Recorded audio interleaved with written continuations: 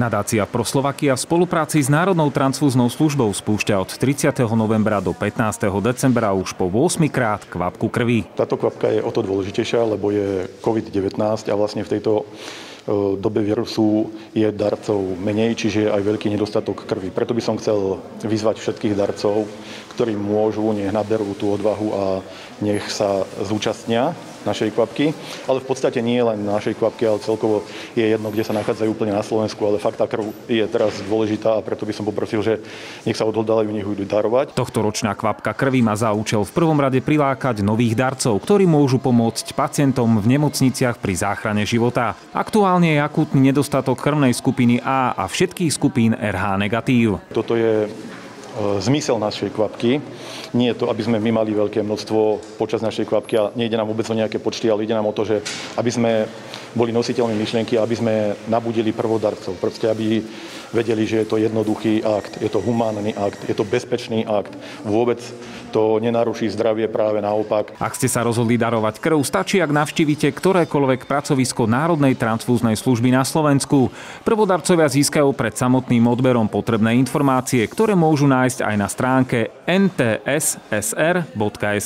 Rozhodol som sa ísť darovať krv na základe výzvy tejto kvapky krvi.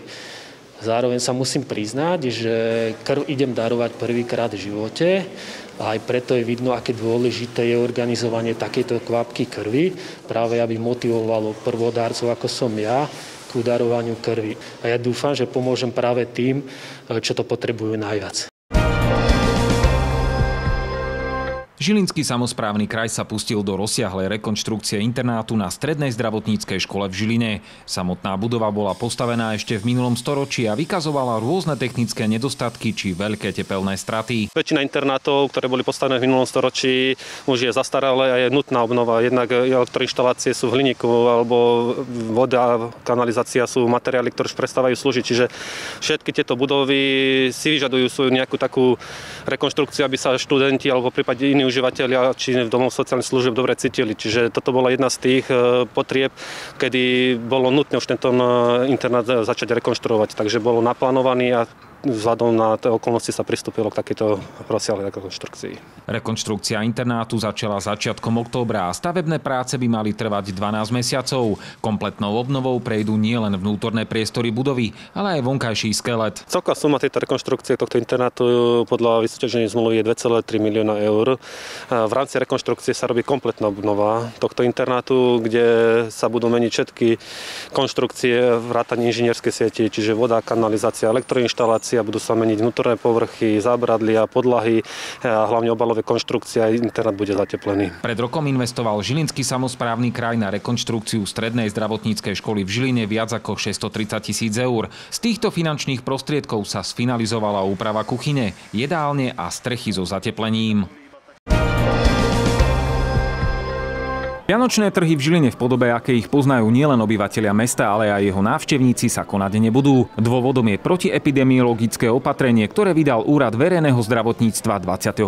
novembra. V ňom sa uvádza to, že vianočné trhy sú v kategórii hromadných podujatí e, jednorazovej povahy, kde sa ale v istom momente, a teda v jednom okamihu zúčastňuje viac ako 6 osôb. A takéto podujatia sú v tejto dobe e, zakázané e, z toho dôvodu, dôvodu, že tam e, hrozí zvýšený výskyt e, ochorenia e, COVID-19.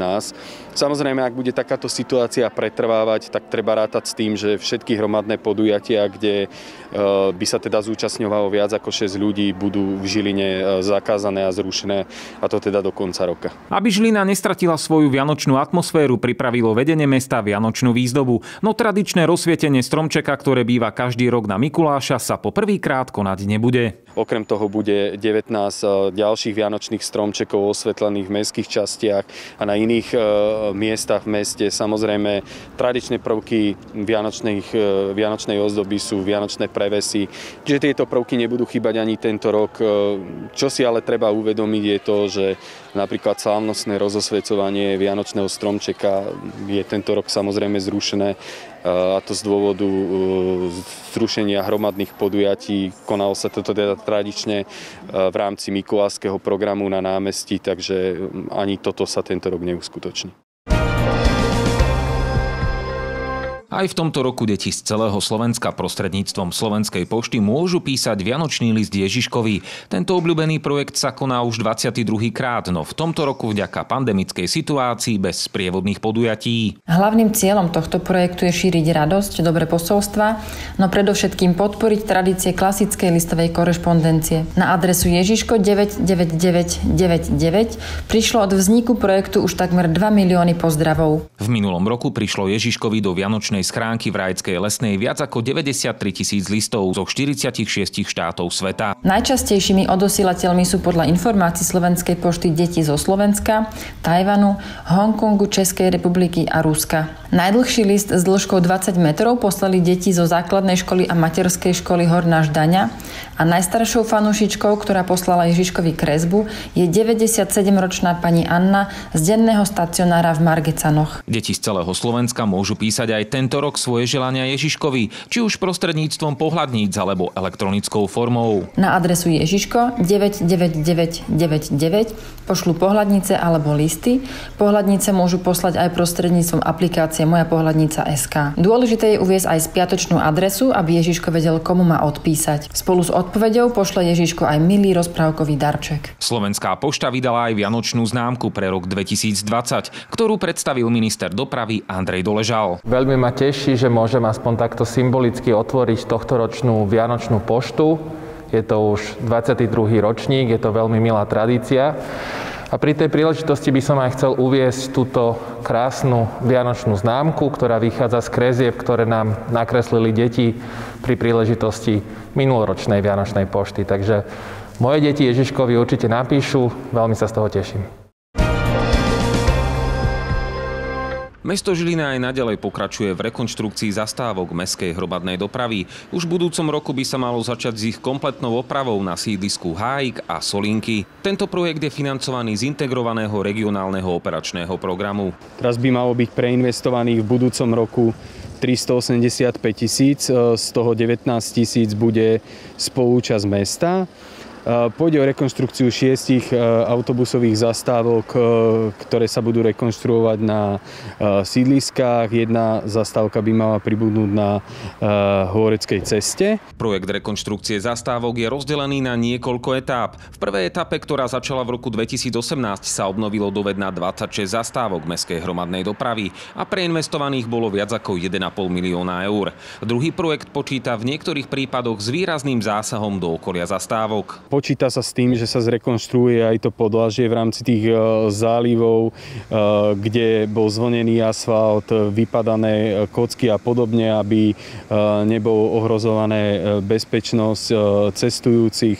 Rovnako sa počíta s debarierizáciou, budú upravené samotné zastávky mestskej hromadnej dopravy, obnovený mobiliár v zastávkach, smetné koše, lavičky, zastávkové prístrežky, rovnako automaty e, na e, predaj e, lístkov. Tretia fáza projektu rekonštrukčných prác a ich financovanie je v procese schvalovania. V rámci tretej etapy sa počíta ešte s rekonstrukciou ďalších 16 zastavok mestskej hromadnej dopravy a preinvestovaných by malo byť rovnako 1,5 milióna eur s tým, že teda príspevok mesta bude zhruba 65 tisíc eur.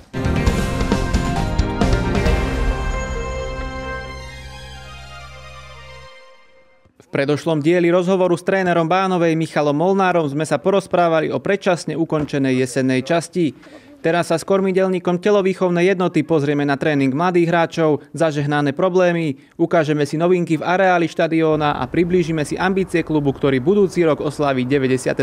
narodeniny. Chceme skončiť čo najvyššie a stále preferujeme to, že chceme hrať na tú sezónu po reorganizácii 3. ligu Západ, takže chceme skončiť do 3. miesta z tých mústiev, ktoré tam spadajú. Bánovej sme zavítali aj na tréning mladých hráčov, ktorí trénujú v skupinkách po šiestich. Posledný mesiac riešim množstvo dotazov rodičov, kedy začneme trénovať, kedy sa to rozbehne, kedy idete niečo robiť s tými deťmi. V podstate teraz týždeň sme začali robiť aspoň s prípravkou a s mladšími žiakmi. Na budúci týždeň sa rozbehnú starší žiaci, verím tomu, že aj mladší, aj starší dorastenci. Pre teraz trénerov je to veľa náročnejšie, musíme tu stradiť oveľa viac času s tým, že môžeme trénovať len po skupinách. Ale taká je doba, no asi bojovať musíme všetci, nielen my, čo sa týka futbalu, ale každý športovci to máme v tejto dobe veľmi ťažké. Ani Bánovu neobyšli komplikácie v súvislosti s financiami. Na teraz sú však problémy sympatického klubu zo Žiliny zažehnané. Po finančnej stránke asi každý klub sa borí s finančnými problémami, my nie sme výnimka. Snažíme sa to vždy nejako latať a nie, ja myslím, že toho pol roka máme ten rozpočet sme mali v podstate vykrytý a že by nás sa to nejako dotklo momentálne zatiaľ nie. Predčasné ukončenie jesenej časti využili miestni futbaloví činovníci na zveľadenie areálu. Konečne sa nám podarilo spraviť aspoň tréningová plocha, za čo veľká ďaká najmä nášmu prezidentovi pánu Koberovi. V podstate zo náš škvár na tej ploche sa nám podarilo zasadiť trávu, kde máme v podstate neškvár, ale trávnatú plochu tu e, vedľa šatní sa nám podarilo spraviť takisto trávnaté ihrisko, dokonca s umelým osvetlením, kde, bude vlastne, kde budú trénovať iba príprav, prípravkári, tým pádom naše hlavné ihrisko budeme trocha šetriť a nebudeme musieť tak vynakladať tak veľa úsilia, aby sme ho udržovali.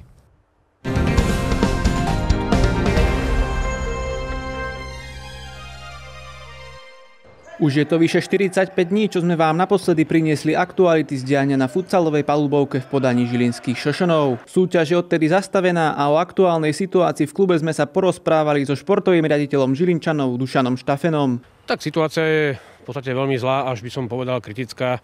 Vyše mesiaca sa nehrajú vlastne majstrovské zápasy, nemôžeme s chlapcami trénovať v žiadnej vekovej kategórii a samozrejme z toho vyplývajú e, rôzne problémy, ktoré sa týkajú súťaže aj klubu samotného. Zmeny v kádri MŠK sa zatiaľ nechystajú. Dúfam, že k tomu to nedôjde. Momentálne sme s chlapcami nejakým spôsobom dohodnutí. Je tento problém, mm, vlastne sa to týka aj takýchto vecí, ktoré sa nedali nejakým spôsobom predvídať. Hej. To znamená, že e, nejaké naše dohody, zmluvy s chlapcami nepoznajú vlastne takýto, takýto stav.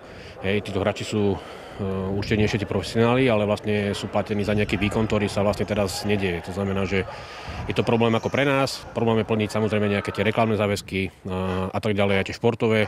No a chlapci tým pádom vlastne tiež prichádzajú samozrejme o svoj príjem a, a hlavne je to problém po športovej stránke, nie len po tej finančnej stránke samozrejme. V klube sa nádejali, že súťaž sa môže reštartovať po celoplošnom testovaní. To sa však nestalo. V podstate kedy, eh, nedovolím si ja vôbec odhadnúť, lebo nakoľko som si myslel, že po tých dvoch celoplošných testovaniach sa tie opatrenia nejakým spôsobom poľavia. Nestalo sa tak pre nás. Pre nás sa nič vlastne nezmenilo. Stále je to nejaký taký stop stav.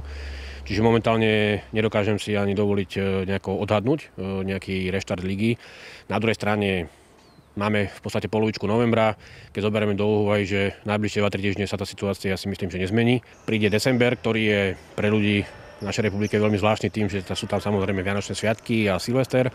To znamená, že pre náš klub alebo aj pre mňa samotného ako funkcionára by zase nebolo možno nejaké šťastné začínať niekedy v polovičke decembra nejaký reštart ligy. Nevidel, nevidel by som v tom žiadny zmysel. Radšej by som bol, keby sme vedeli vopred sa nejakým spôsobom dohodnúť aj so zväzom, aj medzi e, klubmi a začať takýto reštart až po troch kráľoch, ale s tým, že by sa potom už plynule hralo až do konca súťaže. Štafen si nemyslí, že súťaž bude možné dohrať v pôvodne stanovenom formáte. Tam sme už prišli o strašne veľa vlastne hracích chôl.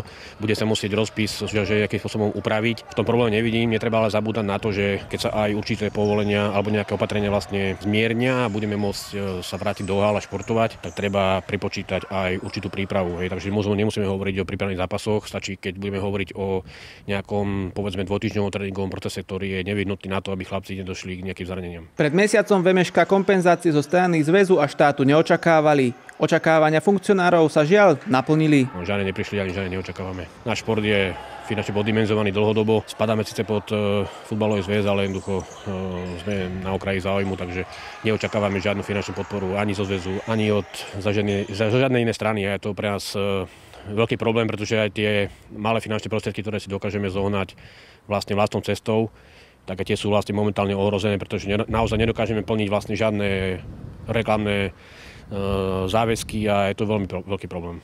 Opatrenia majú na slovenský futsal významný dopad. Dopad, ktorý vyústilo veľký problém na medzinárodnej scéne. Čo týka situácie v okolitých krajinách, tak pandemická situácia u našich susedov je ďaleko, ďaleko horšia ako u nás. Napriek tomu oni majú tieto opatrenia ďaleko voľnejšie. Sú krajiny, kde sa bežne súťaž vrátila už do normálu. Síce bez divákov, ale športovci tú svoju činnosť vlastne vykonávajú. A vzniká nám tu problém, ktorý nedokážeme riešiť. A je to napríklad Futsalová liga majstrov, a kvalifikácia na majstrovstvá Európy v futsale, kde bol teda žreb nám milosredný. Majstrovstvá Európy sa rozširujú počte účastníkov a v podstate naši konkurenti a superi vlastne normálne veselo vlastne trénujú, pripravujú sa na túto kvalifikáciu, naša reprezentácia nie. A je to veľký problém. Takisto, čo týka Ligy majstrov, tak Mime Lučenec čaká koncom novembra e, ich zápas, kde samozrejme majú tiež e, veľmi obmedzenú túto prípravu. A okrem toho, že majú teda veľmi špecifické podmienky na trénovanie, tak zároveň prichádzajú o mnohé zápasy Slovenskej líge, ktoré sa vlastne nekonajú a tým pádom sú ukratení o hernú prax, ktorá im môže narobiť obrovské problémy v samotnej Lige majstrov.